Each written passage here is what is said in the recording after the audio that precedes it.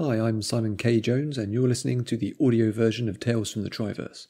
Read more at simonkjones.substack.com and listen to the audio version in your favourite podcast app. The Koth, Part 2.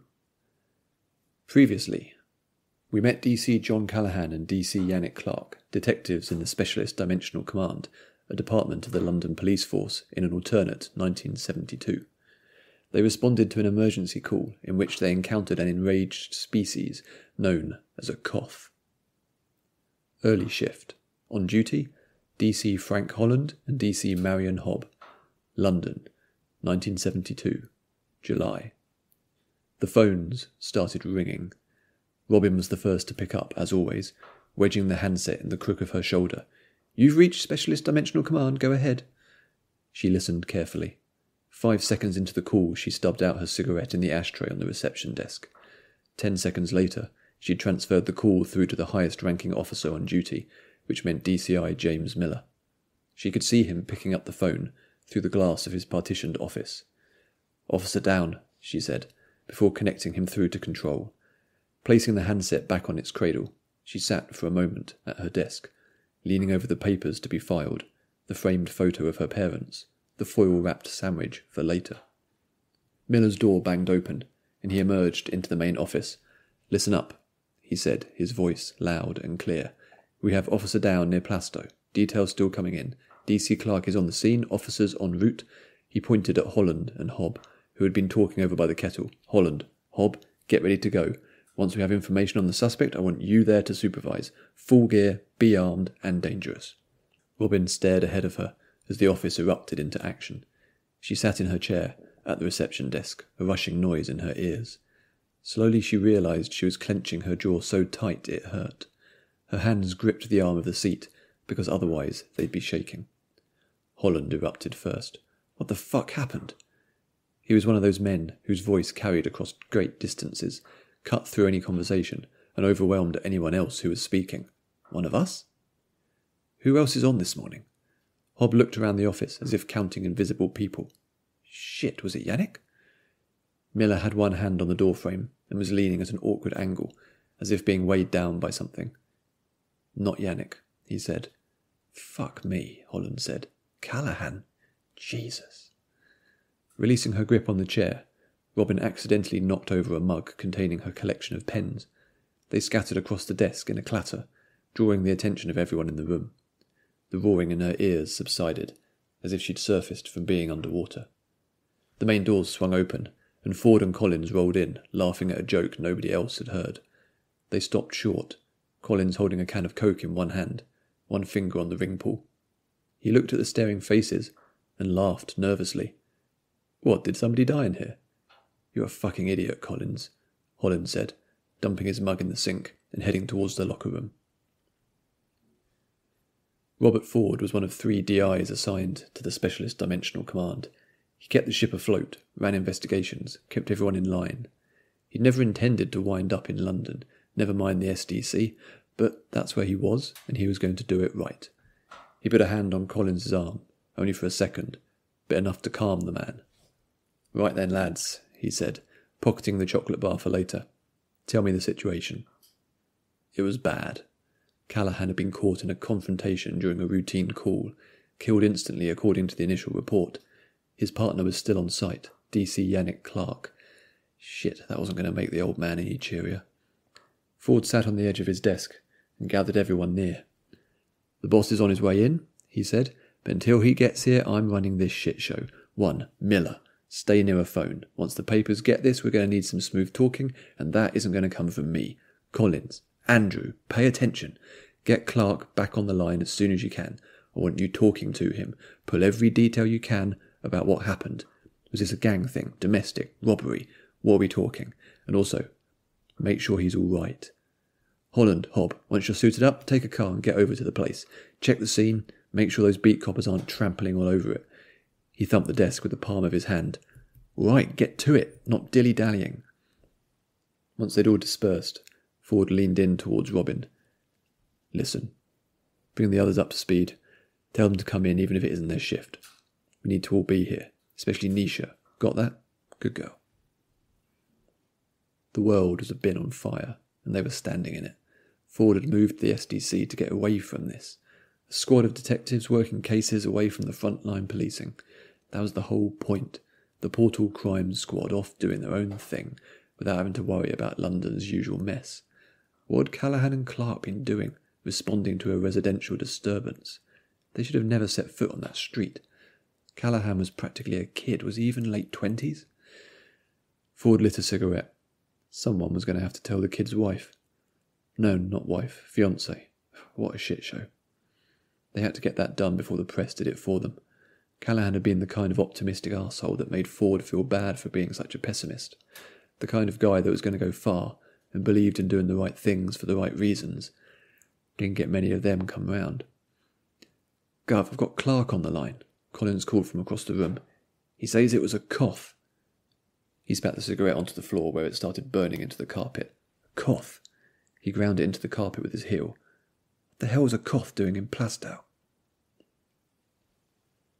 Holland gripped the wheel as he weaved between trams and rickshaws and pedestrians. Never lost anyone in the squad, not like this. Twelve years is a good run of luck, said Hobb, checking her pistol. This might be her chance to make an impact at last. Callahan's killing would draw the attention of the Commissioner and all the rest, which would give her a shot at finally getting out of the SDC. It meant to be a brief tenure with the Portal Squad, a stepping stone on the way to better things, but she'd been there for three years already. Being relegated to portal crimes was holding her back from doing real police work. The radio crackled.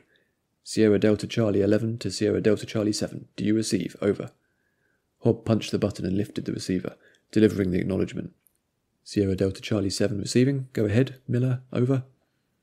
New intel. The attack on Callahan was by a Koth, enraged and out of control. This thing is likely to kill again. If you engage, do not hesitate to shoot to kill. Do you read me? Over. You are R5 Miller, all received, out. She put the receiver back on its cradle. A Koth, she repeated. Holland grunted. We should have brought bigger guns. It's always been a bloody joke that we get these pea shooters when there are fucking dragons in town. Sterling Street was full of police, cordoned off at both ends, residents on doorsteps being interviewed. Hobb had never seen so many cars in one place, all with their lights flashing red and blue. Holland and Hobb found Yannick Clark sitting on the bonnet of his squad car, face a pale white and hands covered in blood. Hobb leaned against the car next to the shivering man, thought about saying something to comfort him, then thought better of it. There's nothing she could say that would help. Clark, Holland barked. Then, when there's no response, Yannick, we need to know what happened, every detail, if we're going to catch this son of a bitch. Reports of a Koth? Clark raised his head and stared at Holland, as if he were looking at a young child who hadn't yet understood how the world worked. It's like it was waiting for us, he said, his voice low. It was big, really big. Came out of the apartment, took John, ripped him to pieces. His voice cracked, and he paused. What happened afterwards? Point us in the right direction. Jumped over the balcony. I think I heard it running. He pointed down the street. Perhaps that way, I don't know. Hobb frowned. Why didn't it just fly away? Good question for another time, Holland said, but it means we've got a chance of catching it. Leaning forward, suddenly more alert, Clark grabbed at Holland's jacket. You don't want to catch it, Frank. His voice was more anger than fear. You didn't see what it did. Stay the hell away. There was a call from one of the uniformed officers over near the tower block. We've picked up a trail. Let's go. It had happened again. The cloud had descended, obscuring everything behind a fog. What started as a release, a freeing joy, turned shortly to pain, a crushing anxiety that infected their every decision. Instinct shot, clumsy, disoriented. It was the same as always. That's why they'd got clean, as hard as it had been. Years going back and forth, slipping repeatedly back into temptation, each time worse than the last. They'd lost everyone, spurned by the community, rejected by their family, unable to return through the portal, and not allowed to live legally on Earth. But at least they'd been clean, for months had been. The warehouse was old, wood and steel, cavernous and creaking, with sunlight breaking in through holes in the walls and ceiling. It was derelict save for the collapsed remnants of cargo crates, long since discarded by their owners and emptied of whatever contents they'd once transported. Clenching a fist, the Koth grimaced and punched the ground. Stupid! They lifted their palm and hit themselves in the face. Again, another slap. Everything was ruined, worse even than before. Being clean had only made it more terrible when they'd slipped back. They could still feel it coursing through their veins, throbbing beneath their scales, as if pulsing to burst out and escape. The cloying anticipation, an adrenaline burst that crippled their natural abilities. Flying was out of the question, given they could barely stand or walk in a straight line. Their wings were limp, heavy, dragging them down, tying them to the ground like chains, each one leathery and thick, sloughed across the warehouse floor. Their throat was parched, dry to the point of cracking inside. The flame had extinguished, as it always did, and though they knew it would reignite once the effects had worn off, it still felt like part of them had died. They couldn't remember their own name. It had been so long since anyone had used it. It occurred to them that they couldn't remember where they'd taken it. When had they? Where would they even have got it from? None of the old dealers were still around. How could they have forgotten? The morning was a dark haze. There'd been a man? A human? They remembered slivers, scratchy flashes bereft of meaning or context. A man. What had he been doing? Had he attacked them? Where had that happened? A tiny room, dirty, too small, the walls pressing in on them like vice. The man had intruded on them. He'd had a weapon, a baton, and the light had been so blindingly bright. Why had the man interrupted? It had made them angry. They remembered the anger then and the violence and the window. The window had smashed. They'd smashed it with something. A rock? A ball? Helmet? A head? Scratching at their palm with the claws of their other hand, the Koth saw the residue, caught in the cracks between the flexing scales. Red, human blood. This time they'd really gone too far. They wondered who the man had been, what his life had meant, who their tribe had been. They pounded their fists into the ground, then splayed their fingers out and scratched at the concrete floor, cutting grooves until the ends of their claws began to splinter and snap. There was a commotion by the entrance to the warehouse. The big door was slid aside, and a host of humans entered. They were armed. The Koth felt the rage building again, the last of the herbs still working at their system, piercing their nerves with thousand needles. Their brain hammered against the inside of their head. They tried to stand, to gain control and some semblance of balance, so as not to appear threatening. They tried to raise their hands above their head, but their wings pulled them back down at the elbows. They could feel their tail flicking with irritation. Please, they said, their voice deep and rasping and barely intelligible. Please, you have to help. The shots rang out, echoing through the empty warehouse, shot after shot, hitting their mark. The Koth fell to their knees. Maybe this time would be the last, mercifully. They only wished they could remember their name. Thanks for listening. A new chapter goes out on the newsletter every Friday.